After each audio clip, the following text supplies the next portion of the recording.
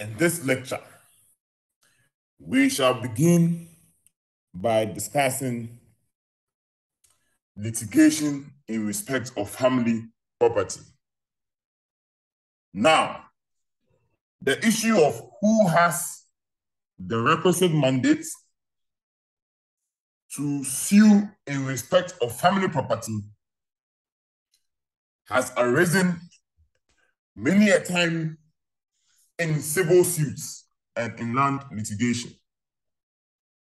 Now, who is the proper person to sue and maintain an action in relation to family property or family land? Now, the general rule is that suit in respect of family property, an action that has been instituted to protect family property such as land, the action must be instituted on behalf of or as representing the family. And the suit must be brought by the head of family. That is the general rule. So if there's family property or family land, the locus standi or capacity to maintain such an action has been given to the head of family as a general rule. And so, this general rule, which is deeply rooted in our customary law, has also been captured under our High Court Civil Procedure Rules, 2004 CI 47, Order 4, Rule 9, Sub Rule 2 of the CI 47. It says that the head of family, in accordance with customary law, may sue and be sued on behalf of or as representing the family. Order 4, Rule 9, Sub 2 of the CI 47. The head of family, in accordance with customary law, may sue and be sued on behalf of or as representing the family.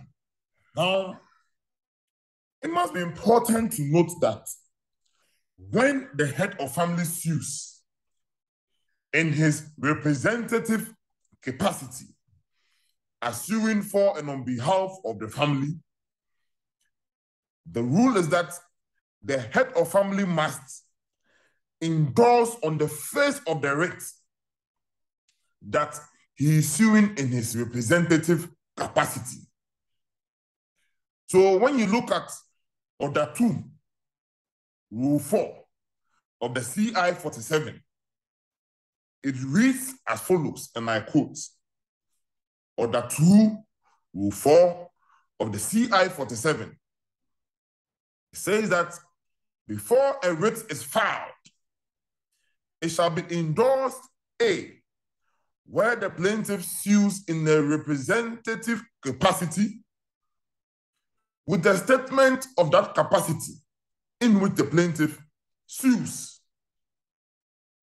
Or B, where the defendant is sued in a representative capacity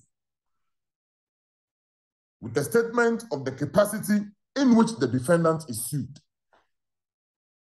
So if the head of family is suing in a representative capacity, he must make sure that he complies with Order 2, Rule 4, Sub Rule 1, which requires that if he is opening a waffle, he should write opening a waffle, suing in his representative capacity as the head of opening waffle, so so and so family.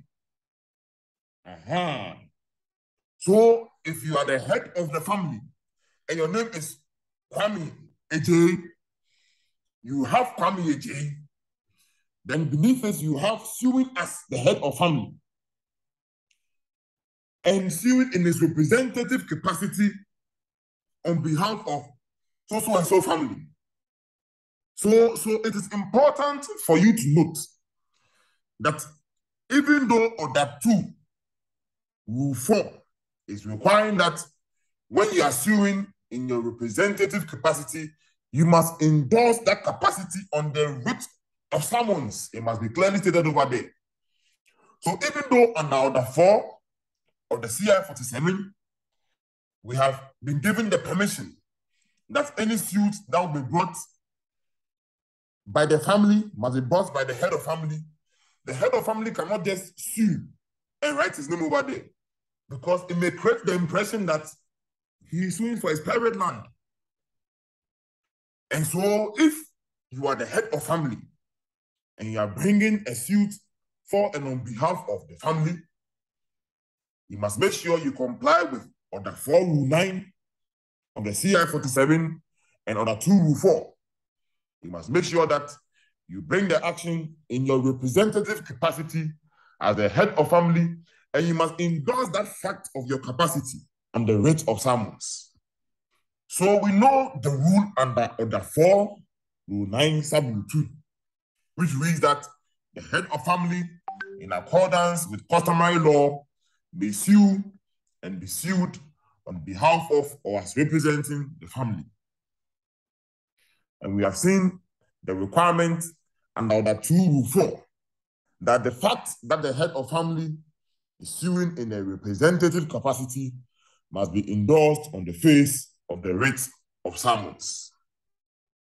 Now, what if the, a person institutes an action as, say, describing himself as a head of family and suing in his representative capacity as head of family? And that capacity is challenged. Who would have the burden of proving that the person who has instituted the action does not have the capacity to maintain an action on behalf of the family. Should it be the one who has sued? Should he be the one who have the burden to prove that he has capacity? Or it should be the one who is challenging? The answer to this question is in the case of Nyamekye versus Ansah. Nyamekye versus Ansah. Nyamekye is spelled N Y A M E K Y E versus Ansah A N S A H. 1989 90. Two Ghana Law Report at page 152. The court in this case noted that when a person brings an action as head of family in his representative capacity as head of family, and that capacity is challenged, it is the onus and the burden will be upon him. It will be upon he who has brought the action as representing the family. The onus and the burden will be on him to show that he has been duly authorized and the family to bring the action. This is what the court said in holding three, as captured in the head notes. The court held that, as a general rule, the head of a family, as a representative of the family, was the proper person to institute suits for the recovery of family land. And where the authority of a person to sue in a representative capacity was challenged, the onus was upon him to prove that he had been duly authorized. This is the case of Nyamekye versus Ansah, 1989 90, two Ghana law report at page 152. So when the head of family whose capacity has been challenged, when he introduces sufficient evidence to show that he's the head of family who has the right to bring the action then the burden will now shift on the one who was challenging to bring evidence to show that the person who has instituted the action does not have capacity as head of family. And that is the case of Akrofi versus Otenge. Akrofi versus Otenge. Akrofi is spelled A K R O F I versus Otenge O T N O T E N G E. 1989 92 Ghana Law Report at page 245 that when the head of family whose capacity has been challenged introduces evidence to show that he's the head of family, the burden will shift upon the person who was denying to show that someone else is indeed the head of family. So we have seen so far that under customary law and also under Order 4, Rule 9 of the CI 47, the head of family may sue and be sued on behalf of a particular family. And we have seen another two rule four that when the head of family sues as representing a particular family, or if he sued as representing a particular family, that fact of his capacity, it must be endorsed on the face of the writ of summons. It must be endorsed on the face of the writ of summons. And then we have seen that when this capacity is challenged, the one who has sued is the one who must introduce evidence to show that he is indeed the head of family. So the question now is this. Apart from the head of family, is it possible for ordinary members of the family to institute actions on the behalf of the family? In other words, if the head of family is neglected and is refusing to maintain an action on behalf of the family, can an ordinary member of the family bring an action to preserve the family property? And when that ordinary member brings the action and he is challenged, can the suit still stand? Because remember, that member of the family is not the head of family. So what we want to find out is that apart from the head of family, who has been given the right under Order 4 Rule 9 of the CI 47 to institute suits on behalf of the family, can ordinary members institute an action on behalf of the family? The answer to this question has been provided for in the case of Kwan versus Nyieni. Kwan versus Nyieni. Kwan is spelled K W A N. N for nice. K W A N versus Nyieni. Nyieni is spelled N Y E N Y I E N I. So Kwan K W A N versus Nyieni N Y I E N I and another reported in 1959 Ghana Law Report at page 67. Now, what did the court hold in Kwan versus Nyieni? The court held that first, as a general rule,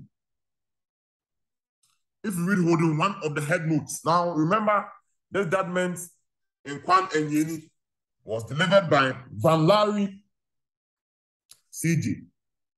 Now, this is what the court held as far as capacity to maintain an action in family land is concerned.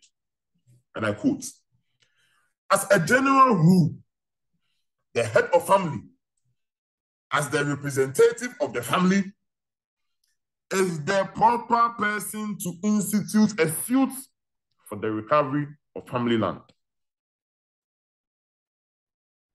As a general rule, the head of family, as the representative of the family, is the proper person to institute a suit for the recovery of family land. Then the court goes ahead to say as follows, and I'm still quoting. To this general rule, there are exceptions in certain special circumstances, such as one, where family property is in danger of being lost to the family. And it is shown that the head, either out of personal interest or otherwise, will not make a move to save or preserve it. Or, I, I, where owing to a division in the family, the head and some principal members will not take any steps. Or I, I, I. where the head and the principal members are deliberately disposing of the family property in their personal interests to the detriment of the family as a whole. The court went ahead to note that in any of such special circumstances, the court will entertain an action by any member of the family, either upon proof that he has been authorized by other members of the family to sue, or upon proof of necessity, provided that the court is satisfied that the action is instituted in order to preserve the family character of the property. So the court in Kwan and Nyieni has recognized that the head of family is the appropriate person to sue and be sued as representing the family in respect of family property. The court recognizes that the head is the one that has capacity. But the court is further noting that there are some exceptions. One, where family property is in danger of being lost to the family.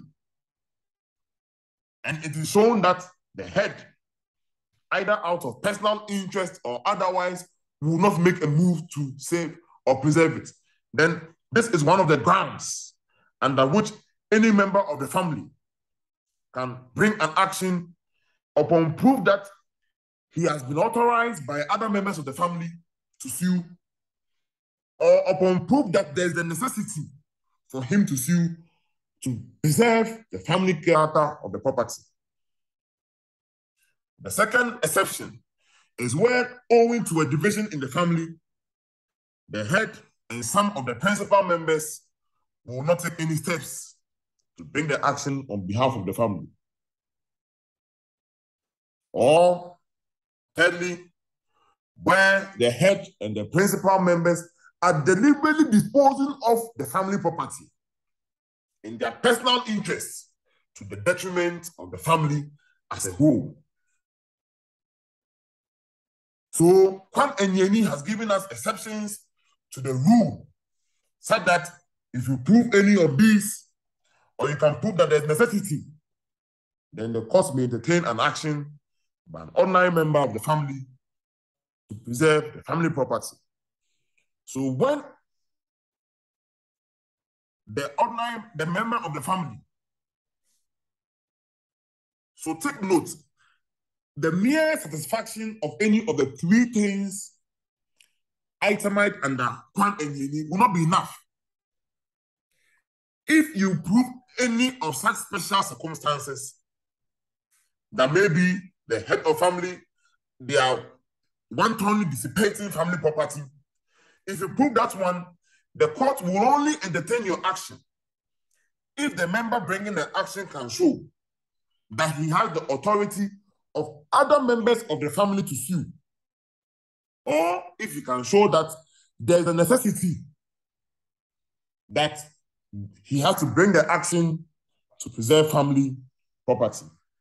Now, you remember we noted that under Order 4, Rule 9, it has been stated that the head of family may sue and be sued on behalf of or as representing the family. And we have also mentioned that according to the case law, now we have been told that there are some exceptions outlined in Kwan Enyeni that can allow ordinary members of the family to bring an action on behalf of the family. Now, it will interest you to note that even though the CI 47 says that it is the head that may sue and be sued on behalf of the family, the CI 47 even contemplates that there are instances whereby ordinary members of the family will bring an action to preserve family property. And this is under Order 4, Rule 9, Sub 3 of the CI 47. It says that, and I quote, if for any reason, if for any good reason, the head of family is unable to act, or if the head of family refuses or fails to take action to protect the interest of the family, any member of the family may subject may subject to this rule sue on behalf of the family. So even the CI 47, which is the rules governing the High Court in Ghana, contemplates that if the head refuses or fails to act, any member of the family may subject to this rule sue on behalf of the family. But of course, the rule also requires that when any member sues, he has to serve a copy of the writs on the head of family. Family, the head of family will know that because he has failed to act, an ordinary member has taken steps to preserve family property. So it is important to note that it's not only the head of family who can sue in relation to family land. Ordinary members can sue if they can come under the sessions in Kwan Enyeni, and also if they can come under Order 4 Rule 9 of the CI 47. Now, now that we have identified that it is the head of family that has capacity to sue in relation to family land, how we appoint a head of family is very important because we, it is it is the person who has been properly appointed as the head of family. He is the one who can sue in relation to family land. So our next discussion is to find out how do we appoint a head of family? How do we appoint a head of family? Now, in the case of Welbeck and Captan,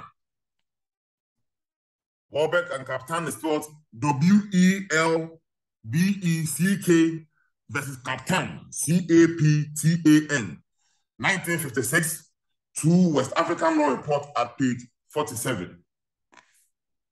The court in that case held that the head of family is appointed by the principal members of the family, by the principal members of the family. And so what it means is that if you want to appoint a head of family, you cannot go and organize a meeting where just anybody at all is going to vote by show of hands or by writing something, and you will say that you have appointed a head of family. The law has designated the particular people who must participate in the appointment of the head of family. And that it must be the principal members. So in every family, you must know who the principal members are. And they are the ones who can appoint the head of family. So you cannot go and appoint head of family by just anybody at all in the family. You organize a party and then you show your hands or you write. No, no, no, no, no. You can't appoint like that. It must be the principal members. That is what Welbeck and Captan is saying. Now, if you read the case of Lartey versus Mensah, 1958, three West African law reports at page 410. Lartey versus Mensah.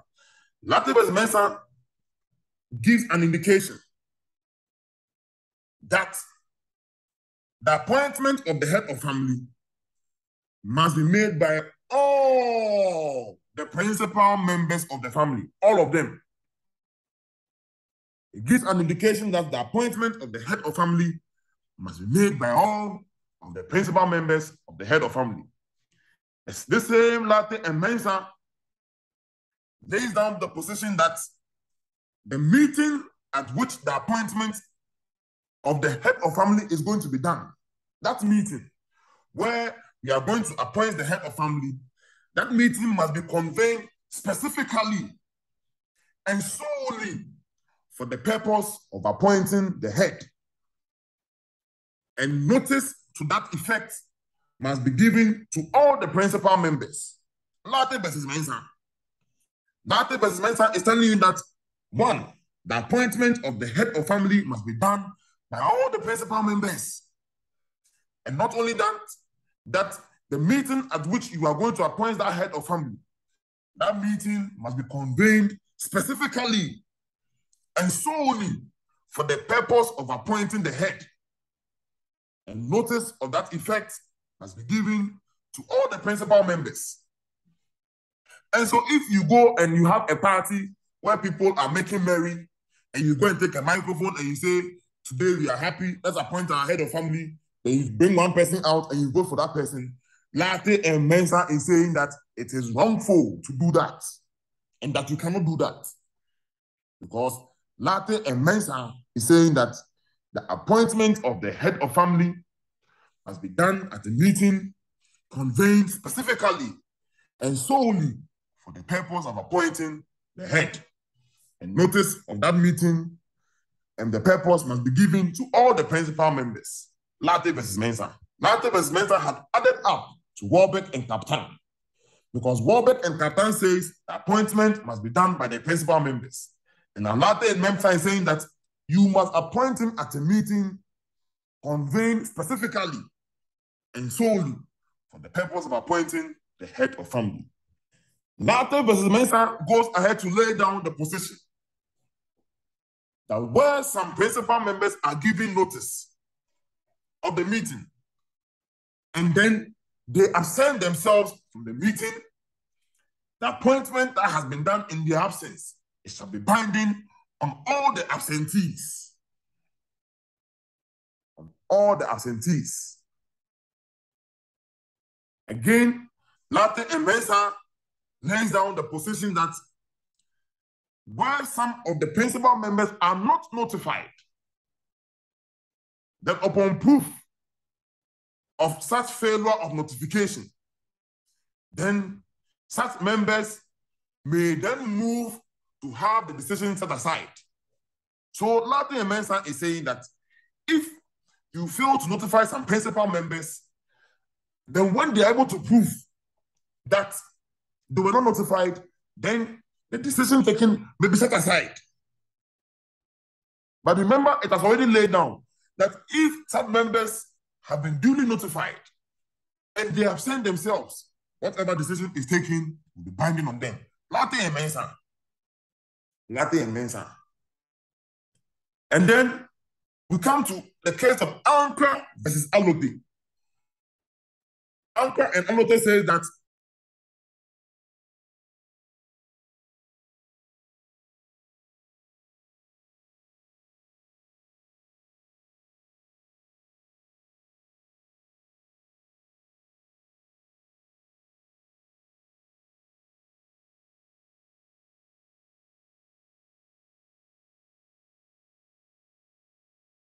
to appoint a head for the whole family. Uh, when there's a division in the family, one faction cannot go ahead and appoint a head for the whole family. Now, the next case to look at is Banahene versus Adinkrah. Banahene is spelled B-A-N-A-H-E-N-E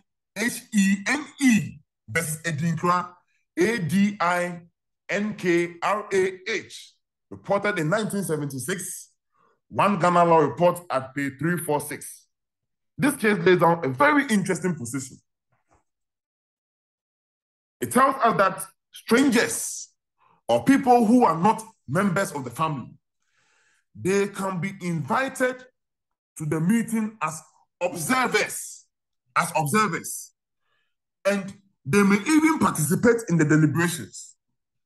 But emphasis on the but, but such strangers and non-members, they cannot take part in the decision to appoint the head of family.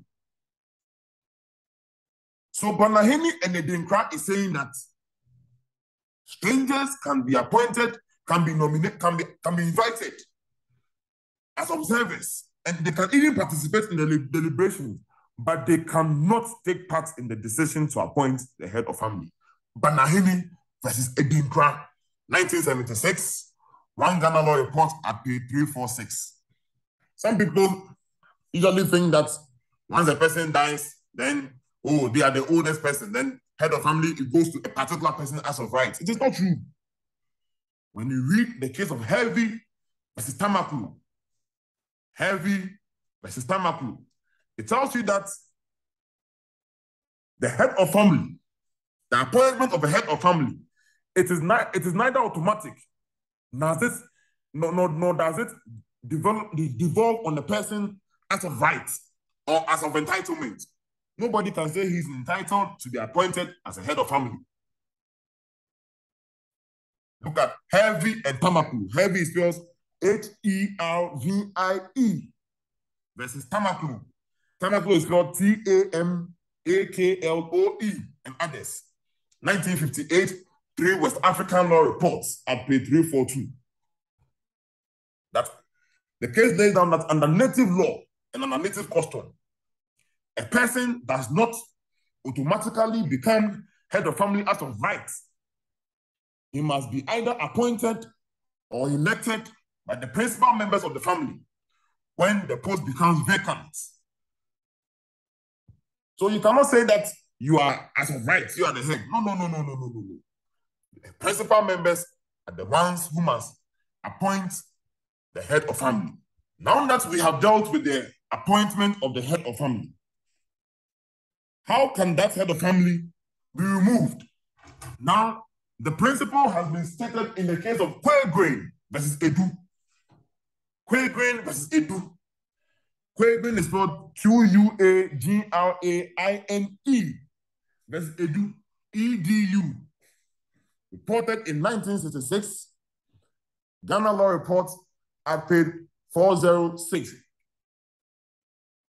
Atade, as he then was. Also in the case of Abaka versus Ambradu, Abaka is called A-B-A-K, A-B-A-K-A versus Ambradu, A-M-B-R-A-D-U, 1963, one Ghana law report at page 456. It says that the decision to remove the head of family must be taken at a family meeting, and the principal members must be invited to attend that meeting. Abaka and Ambradu further lays down that the head of family must be served with the notice to attend the meeting. He must be served with the notice to attend the meeting. But the purpose of the meeting need not be stated in the notice. And where the head fails to attend without good reason, the meeting may proceed and he could be removed in absentia. That is Abaka versus Ambradu. And you must note that once the family has taken a decision to remove the head of family, the court will not interfere with that decision to remove the head of family. Abaka and Ambradu is very important because once the head has been served with a notice to attend the meeting, when he fails to attend without good reason, they can go ahead and the principal members can go ahead and remove him from office. And the court will not interfere with that decision to remove the head of family from office. Finally, finally, there's this old position of the law that relates to the accountability of the head of family. The old position is that Heather has been is, is that members of the family cannot call upon the head of family to account. In other words, you cannot bring an action against the head of family in the court to compel the head of family to account. That is the old law. And this old law has been captured in cases like Fynn and Gardiner. Fynn is spelled F Y N N versus Gardiner, G A R D I N E R. 1953 14 West African Court of Appeals. This is what was said in that case. The members of the family cannot call upon the head of family for an account for their remedy. Their remedy is to depose him and appoint another person in his stead. This same position that the head of family cannot be called upon to account has been affirmed in another case of Abude versus Onano. Abude is spelled A-B-U-D-E versus Onano, O-N-A-N-O. This same decision was followed and adopted in Hansen versus Ankrah. Hansen is spelled H-A-N-S-E-N versus Ankrah, A-N-K-R-A-H, 1987-88, one Ghana law report at page 639. They all down the position that you cannot bring an action against the head of family to compel him to account. To account. But this position has been changed under the New Lands Act of 2020, Act 1036, Section 13, Section 13, subsection 2, lays down the Lord, and I quote as follows. A chief, Tindana, clan, clan head, family head, or any other authority in charge of the management of stool or skin or clan or family land is a fiduciary charged with the obligation to discharge the management for the benefit of stool or skin or clan or family concerned and is accountable as a fiduciary.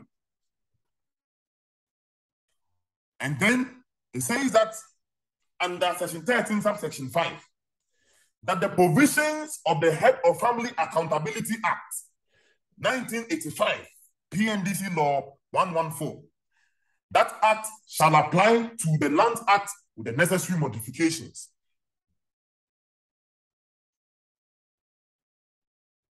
It means that today, that act that was passed, the Head of Family Accountability Law, 1985, that act was an act that allowed an action to be brought against the head of family.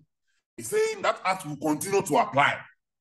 It means that the law we saw in Abude and Nonano, the law we saw in Fynn and Gardiner, the law we saw in Hansen and Ankrah, all of which made it impossible to bring an action against the head of family to account, these laws have been rendered as bad law because now the head of family accountability law 1985, PNDC law 114, as well as section 13 of the Land Act of 2020 Act 1034, they make it possible for actions to be brought against the head of family to compel him to account.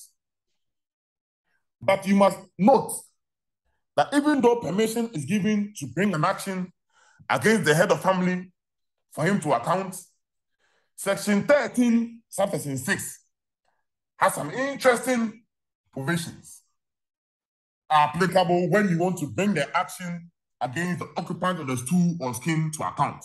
But remember that under our Lands Act, we recognize the Head of Family Accountability Act that today you can bring an action against the head of family to compel him to account. So this is where we'll end our lecture. We have seen how we can appoint the head of family. We have seen also how we can remove the head of family. We have also seen how you can bring an action against the head of family to compel him to account. This is where we'll end our lecture on this particular topic. Thank you.